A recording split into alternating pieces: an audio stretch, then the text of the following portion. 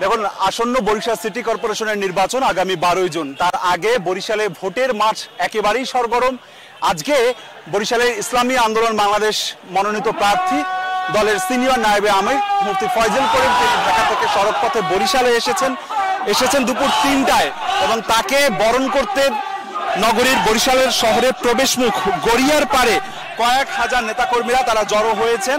Motorcycle শোভাযাত্রা নিয়ে তারা শহরের প্রবেশ করেছেন, তাকে নগরীর যে প্রবেশমুখ, বরিশাল মহানগরীর প্রবেশমুখ গড়িয়ার পারে ঢুকতে তাকে ফুল দিয়ে বরণ করে নেয় দলের বিভিন্ন পর্যায়ে নেতাকর্মীরা এবং কয়েক হাজার মোটরসাইকেল বহরে তারা ঠিক এই মুহূর্তে, অর্থাৎ এখন বাজে বিকেল পাঁচটা দুপুর তিনটা থেকে এটি শুরু হয়েছিল এবং বিকেল পাঁচটায় প্রায় দুই ঘণ্টা বিভিন্ন সড়ক ঘুরে এই মুহূর্তে শহরের আমতলার মোড়, মডেল মসজিদের সামনেই ঠিক আমতলার মোড়ের মোড়ের যে লেকটি রয়েছে, আমতলা লেকটি রয়েছে, সেই লেকের সামনে এসে ঠিক এই মুহূর্তে একটি ছায়ায় অবস্থান নিয়েছে দলের বিভিন্ন নেতাকর্মীরা এখানে রয়েছেন এবং দেখছেন যে তাদের যে দলীয় প্রতীক হাত পাখা, সেটি কিন্তু সবার হাতে হাতেই শোভা পাচ্ছে এবং তারা বলছেন যে আসন্ন সিটি কর্পোরেশনের নির্বাচনে তারা বড় ধরনের শোডাউন দিয়ে তারা জানান দিতে চাচ্ছে যে তাদের দলীয় অবস্থান সেটি জানান দিতে চাচ্ছে।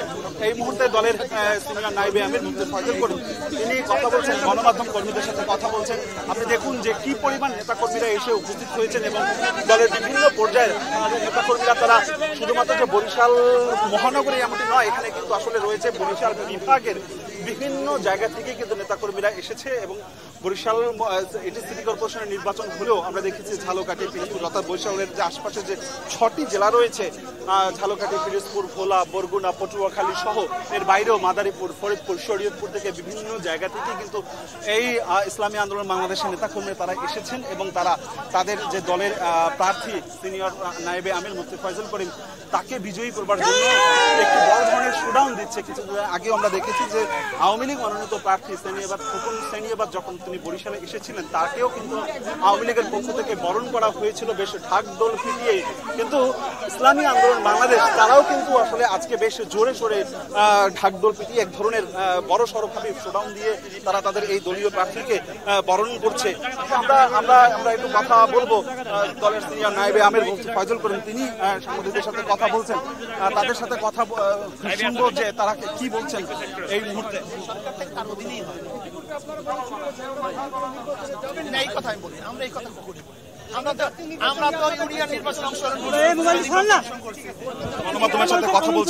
সিনিয়র নায়েবের ফয়জল আপনার কাছে জানতেই যে আজকে যে এই যে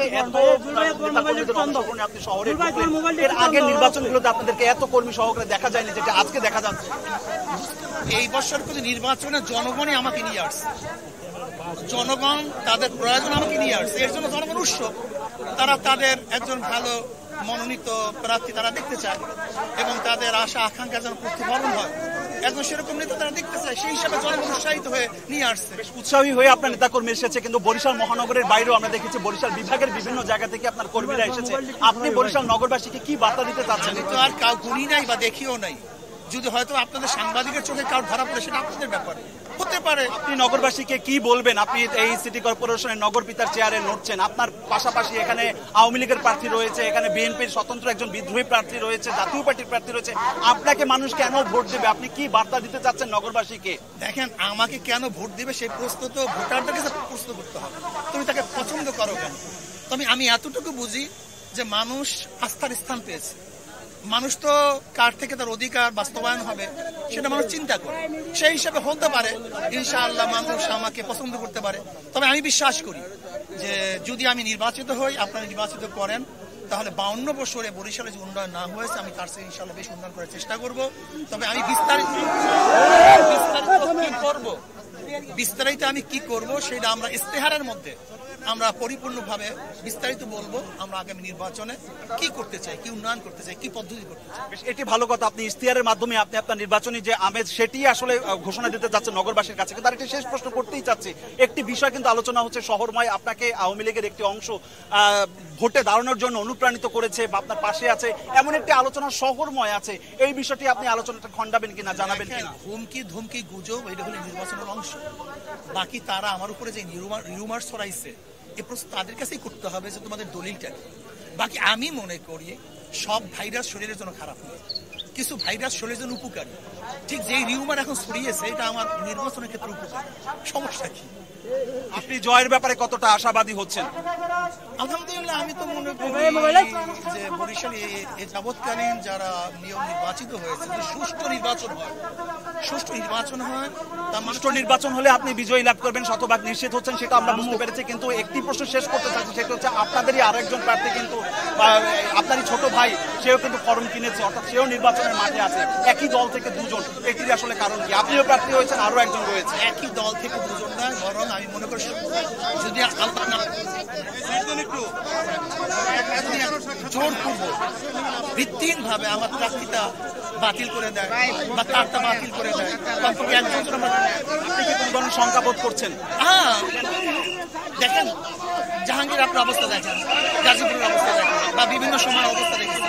আসলে বিভিন্ন সময় বিভিন্ন সময় অবস্থার আলোকে, বিভিন্ন সময় আলো- আলোকের অবস্থায় এরকম সন্তান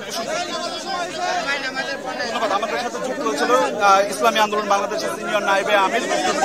তিনি বেশ কিছু যুক্তি কিন্তু খণ্ডন করেছে আসলে দেখছেন যে নেতাকর্মীরা একেবারে উৎসুক রয়েছে তারা আহ, বলছেন যে তারা এই ভোটের মাঠে তারা অবস্থান করবেন তারা এখানে বরিশালে কিন্তু ভোটের আমেজ একেবারেই জমজমাট রয়েছে এখানে ইসলামী বাংলাদেশ মাঠে শক্ত অবস্থান জাহান দিতে আজকে এর বাইরেও আওয়ামী লীগের যিনি প্রার্থী শ্রেণি খোকন শ্রেণি বা তিনি তার নিয়েও মাঠ চষে বেড়াচ্ছে। তার সহধর্মী লুনা আবদুল্লাহ, তিনিও মাঠ চষে বেড়াচ্ছেন। জাতীয় পার্টির প্রার্থী ইকবাল হোসেন তাপস, তিনি ঢাকা থেকে গতকালকে এসে এরই মধ্যে বিভিন্ন জায়গায় নির্বাচনী প্রচার প্রচারণা চালাচ্ছেন আসলে গোটা এই যে নির্বাচনী প্রচার প্রচারণাটা এগুলো কিন্তু সবই নির্বাচনী প্রচার প্রচারণা চালাচ্ছে। কেননা পঁচিশে মে হচ্ছে প্রার্থিতা বাছাই সব দিন শেষ দিন প্রত্যাহারের ছাব্বিশে মে আনুষ্ঠানিকভাবে তারা প্রতীক পেয়ে নির্বাচন কমিশন থেকে আনুষ্ঠানিকভাবে প্রচার নামবে। তার আগেই বরিশালে কার্যত নির্বাচনী ভোটের আমেজ একেবারেই জমজমাট। আমার কাছে বরিশালের রামতলার মোড় থেকে সব শেষ আজকের দিনের মতন এতটুকুই ছিল।